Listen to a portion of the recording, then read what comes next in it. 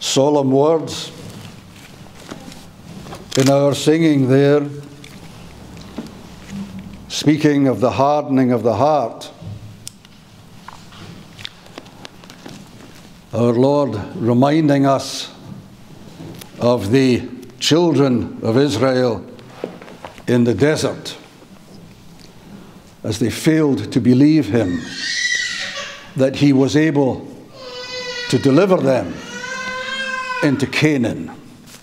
And none of that generation, as you know, save a few, were preserved. And a solemn thought it is for those who fail to trust and to believe in the Lord Jesus Christ. Well, we're proceeding now in our studies in Hebrews, and uh, now we're looking at chapter 2. We're thinking specifically tonight about the, uh, about the superiority of Christ, and more than that, we're going to examine verses 1 to 4, 1 to 4 in chapter 2. And for the purposes tonight, I want to share with you that the, the writer of the book of Hebrews was at great pains to prove the superiority of the Lord Jesus Christ. And in order to do that, he had a strategy, remembering he's very, very well versed in the, in the, in the scriptures of the Old Testament. Yes, Paul, a doctor of theology in the Old Testament, could well be the author of these, of these words. That's what it says in our authorized version. That's good enough for me. Despite the fact that there are differences in the style and indeed in the Greek which this book is written in. His strategy is to prove beyond a shadow of a doubt to these Hebrews that Jesus is superior in every respect to everything they knew under the old dispensation. Everything in the old covenant is bettered by the new covenant. Let's think about the headings that he employs. Christ is superior, is superior as the eternally begotten Son. We read about it this morning, we sung about it this morning. He is eternally begotten and superior to everything that has gone before, superior to angels. He's superior to the angels. Think about that. You need to remember that the Jewish people had a very, very highly developed um, angelology, we call it, an angelology, whereby they studied angels, they, they had this, these conceptions of angels and who they were and what they did. And angels were particularly important in their, in their worship cultus. They, they thought about angels and they had names for, for many angels. We know a one or two out of the Word of God. We know maybe three or four perhaps. Uh, out of the Word of God, we know Gabriel, we know Michael, and so on. But they had a very developed angelology. That's what we call it. But our writer is also concerned to prove that Jesus is superior to Moses. Now, Moses uh, had a position in the mind of the Jewish nation, which of course was absolutely uh, at the top of the list, if you like. Moses was the lawgiver. He is the one that God chose to not only deliver the people out of Egypt, but also the one to whom he, he conveyed the law. And in the understanding of the writer of this book, he used angels to communicate that law. And we can see that in the writings which we read tonight. In addition to that, Jesus is superior to, to Joshua. Remember, Moses was not allowed to go into the promised land because of the rebellion which we just sung about. Today, if you hear his voice, do not harden your heart as they did in the day of temptation, as it's written in our psalm which we sung there. Ah, but Jesus is superior to Joshua. And we'll be, if we're spared someday, we'll go through these things in great detail in order to show the thinking of the writer here. And he, Jesus is the prophet. You know, all prophets who went before Jesus, they had a vision of the future, eh, but it was a clouded vision. Always the vision was not exactly crystal clear. How could it be? These were men, sinful men, and yet God graced them with a vision of the future in times, here and there. And of course, uh, we see it in Isaiah, we see it in Jeremiah, we see it in Ezekiel, all the major prophets, we see it, and in all the minor prophets. Glimpses of the future, but remember, dear ones, only glimpses, uh, as it were, shadows of the future. But Jesus, of course, his vision is crystal clear, and he sees absolutely into the future. And of course, Jesus has these offices. We call it three offices of prophet, priest, and king. And so Jesus is the, is the prophet par excellence. Nothing which Jesus prophesied will not come true. And of course, uh, as we live in this moment, in this time, 2,000 years down the road from when Jesus walked the earth, we have to listen to his prophecies, particularly concerning the, the end times when he will return. He is also superior as a high priest. And uh, we're, we're going to hear about that, not necessarily tonight, but maybe another time, the superiority of Christ as a high priest. Why was he superior as a high priest? Well, for one thing, he is, he is superior because he's everlasting. His priesthood doesn't end with his life because he is everlasting. Isn't that wonderful? Our high priest is forever. And he's not going to die. He has eternal life. And that's a wonderful thought, isn't it? That he who takes us into the very, into the very holy of holies, as we are tonight, he is leading us in there as the high priest, superior to all previous high priests. That's all finished. Human high priests, they're all done. But now we have Jesus, and he is superior. Similarly, Jesus' sacrifice. Think about all the sacrifices of the Old Testament. Under the old economy, there was sacrifices daily, daily for sin, but not Jesus. His sacrifice is eternal. It is the, the last sacrifice, and it is the only sacrifice needed for men's sin. The sacrifice of Christ. He died instead of us. That's the message. He died instead of us. And then, of course, the covenant itself, a superior covenant, and one which was in all respects better. Uh, the new covenant did away with the old covenant. Now, we need to be careful here. We are not saying that we don't that we don't need the Old Testament. Oh yes, we do. We need all of the books of the Old Testament to know about the Lord Jesus Christ coming because they look forward to him coming.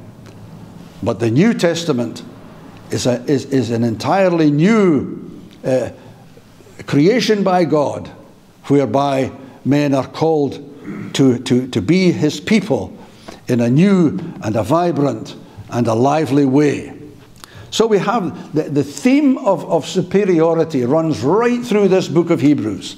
And we if we are going to do justice to this book, need to get onto this idea the superiority of Christ in all the dimensions of his work when he came to this earth and took on flesh in order to carry out this wonderful plan of redemption. Well, tonight we are going to look at uh, several things. Uh, firstly, we're going to um, we're going to look at these, at these verses in chapter 2, and if you've got your Bible open, that will be helpful for us. Um, I want you to look at uh, chapter 2, verses 1 to 4 specifically, uh, so that we can, uh, we can delve into these, these words and uh, suck out the meaning uh, so that they can feed us uh, and help us in our understanding. So, verse 1 Therefore, we ought to give the more earnest heed to the things which we have heard, lest at any time we should let them slip. How many words are spoken about Christ and are forgotten and disregarded? Even amongst believers, his words are not called to mind at all times. And of course, the result of that can often be fear and uncertainty when we do not remember what Christ has said. Fear and uncertainty stalk many today. And those who are out of Christ, the fear is very intense, the uncertainty is very intense. In every department of people's lives, particularly unbelievers, but believers also, if they do not remember the words of Christ, believers also, they are stalked by fear. Fear about health, fear about the future, fear about money, fear about security, and of course, fear about death. There is a whole, a whole industry about death. In my time as uh, playing bagpipes, I have sometimes been called to play the pipes at a funeral. And it's, uh, it's very sad to be at the funeral of an unbeliever, someone who has no faith, families which have no faith, and instead they, they have things like the bagpipes playing. Bagpipes are very appropriate actually for funerals because they, because they can convey lamentatious attitudes. But it's so sad when people don't have any faith at a funeral. Fear of health, the future, money, security, and death. And you know, all attempts to address these issues, they fall short, leave a vacuum of hopelessness it's so easy to let Christ's words slip. Look at the words that we read. We should let them slip. The idea here is, is of, the, of drifting away. The Greek actually says drifting away. And if you think about that, it's very appropriate. Uh, if, you, if you're not made fast to Christ, as it were, if the knots which bind you, you know, the word religion comes from a Latin root, religio. And it means to, it means to bind with ligaments, same root. Religio, to bind, to be bound to Christ. Well, if the, if the ropes which you're bound to Christ with are not made fast properly, then they will slip. And if they slip, you will drift away. So we need to be very careful, as it says here in verse 1, that we ought to give the more earnest heed to the things which we have heard, lest at any time we should let them slip and drift away. But you know, believers really ought not to be thinking like that. Because Matthew 6 and 25 to 34 says this Let's hear what Jesus says. Therefore I say unto you, take no thought for your life, what ye shall eat, or what ye shall drink, nor yet for your body, what ye shall put on. Is not the life more than meat, and the body than raiment? Behold the fowls of the air, for they sow not, neither do they reap, nor gather into barns, yet your heavenly Father feedeth them. Are ye not much better than they? Which of you, by taking thought, can add one cubit to his stature? And why take ye thought for raiment? Consider the lilies of the field, how they grow. They toil not, neither do they spin. And yet I say unto you that even Solomon in all his glory was not arrayed like one of these. Wherefore, if God so clothe the grass of the field, which is today is, and tomorrow is cast into the oven, shall he not much more clothe you? O ye of little faith, therefore take no thought, saying, What shall we eat? Or what shall we drink? Or wherewithal shall we be clothed? For after all these things do the Gentiles seek. For your heavenly Father knoweth that ye have need of all these things. But seek ye first the kingdom of God and his righteousness, and all these things shall be added unto you. Take therefore no thought for the morrow, for the morrow shall take thought for the things of itself. Sufficient unto the day is the evil thereof. Who could improve on these words, I wonder, which Christ has given us and are recorded faithfully here for those who are in fear, for those who are concerned about the future and about how they will manage in a world which is becoming more and more difficult to exist in. So that's verse 1. We need to make sure we don't let our binding to the Lord slip, that we don't drift away. And of course, this was a message uh, to the, uh, uh, to, the, um, to the Hebrews, but it's every bit as important to us as well. Now let's look at verse 2. For if the word spoken by angels was steadfast, and every transgression and disobedience received a just recompense of reward, how shall we escape if we neglect so great salvation, which at the first began to be spoken by the Lord and was confirmed unto us by them that heard him? Verses 2 and 3 there which we're going to concern ourselves with.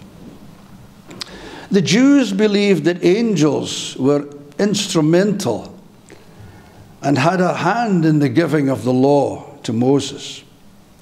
In fact, as I've said already, their angelology was very developed, as may be seen in the book of Enoch. The book of Enoch is not a canonical book. you can still get access to it today. And I understand, I have not read it, but my reading has persuaded me that it is very full of angel knowledge, if you like, angelology. What the law made clear was that God's standards were, and, and these standards were absolutely clear in, in, in the Ten Commandments. His laws described and informed man of something of his character that's the word which is used in the Greek character, the character of God. The law also, having described sin, also described the penalty, which is death. Notice every transgression and disobedience demonstrating the impossibility of keeping the law. You can see that there in verse 2. Every transgression and disobedience received a just recompense of reward. So many think that they will somehow be able to mark up sufficient positives in their lives to somehow secure an entry into heaven, not realizing that nothing for sin could atone. Christ must save, and Christ alone. This is a very solemn thing. The wages of sin is, de- for, of sin is death. Death not simply in physical death, but death in eternity. Separation from God. Preaching about hell is very difficult. It's much easier and joyful to, to preach about the love of God Preaching about hell is hard. because hell is so serious. And hell, dear ones, is the, the certain destination for those who do not hear the gospel, those who do hear, harden their hearts, and those who willfully neglect this great salvation. It's so serious. And we cannot play around with the possibility of salvation. If our eyes are not firmly fixed upon the Lord Jesus Christ, and if our hearts are not believing only in Him, uniquely in Him, then there is no hope. There is no hope. I may have mentioned it to you before. There was a, in Gardenstown, where my parents used to live, there was a, a Christian Brethren hall there, which had a wonderful poster. Lasted for years, but might still be there. And it said, Eternity without Christ, no hope. No hope. And that's so true. And you know, I think people don't aren't able to grasp the concept of eternity. The concept of it. How long is eternity? We can't begin to understand it. I heard a, an illustration once to try and describe something of the beginning of eternity. And if a little bird could fly from earth to the moon, and each time it got to the moon, it would pick up a little of the moon and fly back to earth. A little bird, like a sparrow. If it could do that and carry on doing that again and again and again and again, that would not even begin to describe the beginning of eternity. And if we could just convince people of the seriousness of this eternity without Christ, perhaps we could persuade them of how important it is to have faith in the Lord Jesus Christ. And how desperate and how awful it is to be separated from that very source of love. That love which stands now, today, holding out its arms in love towards sinners and saying, Come unto me, come unto me, all ye that labour and are heavy laden. If only we, we could persuade it. And you know, we cannot. It is entirely within the remit of God, sovereign God, to change the heart. All we can do is be faithful witnesses, dear ones. That's all we, that's all we, we can do. It's all we are asked to do, is to witness faithfully that Jesus is the answer. And we have to be led by the Holy Spirit. We have to be able to recognize His promptings, the Holy Spirit. When He says, This is the way, walk in it, do that, follow my lead here. Jesus has said, I am the good shepherd. My sheep hear my voice and they follow me. They recognize the Lord's voice. And that's what we have to do. We have to recognize His leading through the influence of the Holy Spirit. I firmly believe that the Holy Spirit is neglected as a person of the Trinity. I firmly believe that. I think it's one of the reasons why the church today is so powerless. Because the person of the Holy Spirit has been neglected. He is not honoured and revered as he should be. And we know that we can grieve the Holy Spirit. And we know that we can quench the Holy Spirit.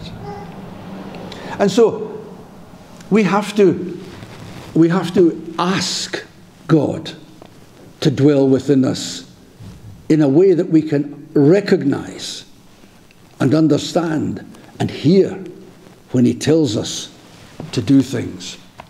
Now we have to test the spirits for sure. We have not to be we have not to be uh, blasé about this. This is important. We have to test them because what we're dealing with here is eternal life and eternal condemnation. Very, very solemn, not to be taken lightly. And very few pulpits today will inform people about the terrible uh, recompense for ignoring the salvation which God provides in His Son. Very few preach about hell today. I cannot begin to describe to you simply because I do not know what hell is like. But Jesus has intimated when he was on the earth that it is a most desperate place and that those who are in hell are there forever, that their, that their condition is a hideous condition, it is painful and utterly miserable and distressful. Nobody likes to preach about hell, and yet we must. Because in hell there will be weeping and there will be gnashing of teeth. In verse 3, one of the most great, uh, one of the most pressing questions that can be addressed to any human being, or any human being can ask, rather. How shall we escape if we neglect so great salvation? That's the question. That's the importance of what we're thinking about tonight. How shall we escape? And of course, the answer is there is no other escape but Jesus Christ. No other escape. Uniquely, Jesus has made a way for sinners to escape the certainty of a lost eternity. Now, that word there, neglect, we can also translate it as ignoring or refusing. I was speaking to a man just yesterday, trying to witness to him, a man probably in his 50s, I should think. And he announced to me um, in these words, Of course, we are not religious. He was trying to do good. He was uh, what they call a special constable. And I was speaking to him uh, about the things of eternity. And he had convinced himself that he was not religious. Of course, we know that's a nonsense because God has put an awareness of himself into every human heart. We know that to be the truth. And that's, a, that's a, an example of ignoring and refusing so great salvation. That was just yesterday. When our people are out in the street and they meet people, they come up to them and they will sometimes abuse them in the street. Because I've had it. You're talking nonsense. This has nothing to, nothing to say to me. I've got all my ducks in a row. I know what I believe, and I don't believe what you're saying. What a desperate condition. What a sad condition. And it's in situations like that that we realize our powerlessness. How we cannot, we cannot change a man's heart. All we can do is tell the truth in the simplest possible way and convey to the listener the truth of what we're saying. That's all. The rest is up to God.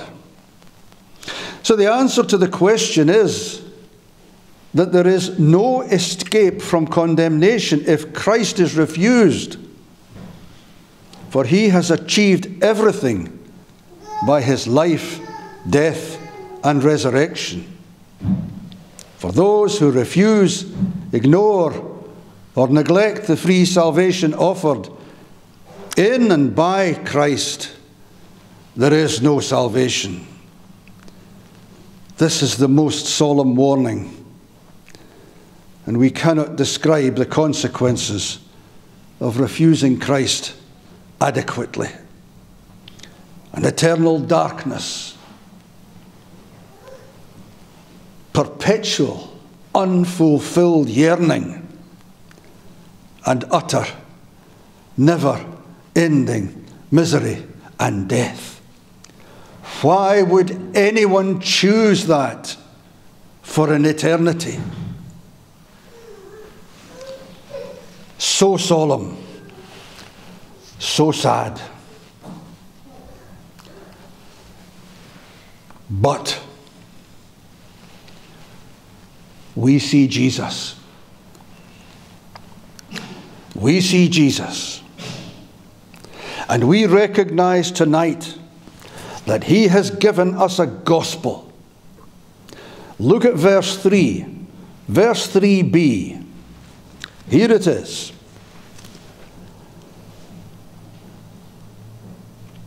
Which at the first began to be spoken by the Lord, that's the Lord Jesus Christ, and was confirmed unto us by them that heard him, that's the disciples who became apostles. God also bearing them witness both with signs and wonders and divers miracles and gifts of what? Of the Holy Ghost, according to what?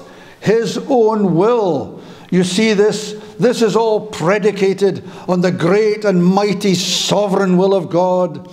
That this plan, which we are in the process of executing and being a tiny, tiny part of, is all in the will of God. God has planned this from eternity.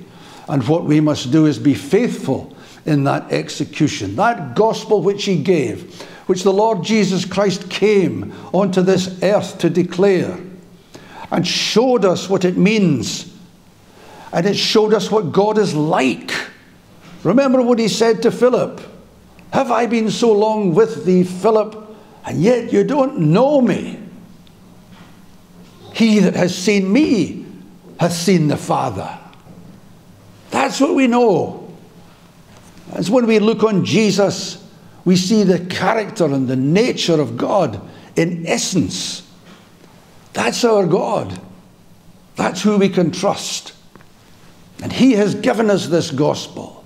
And it's a faithful communication through the apostles, through these books which we study and which we receive as being the inspired Word of God. That's what feeds us and what we have to proclaim as God's faithful witnesses. And he has, he has proved this in the beginning with these miracles which he wrought through these disciples and apostles.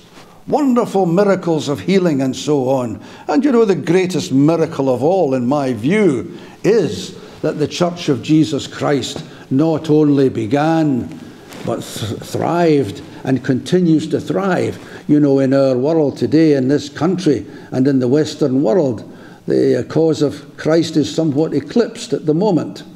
But the fact is that all throughout the world, Christians are worshipping God.